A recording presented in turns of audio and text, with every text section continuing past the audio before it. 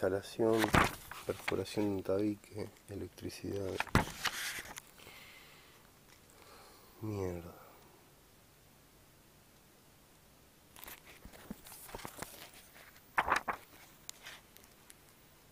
Trabajos de albañilería.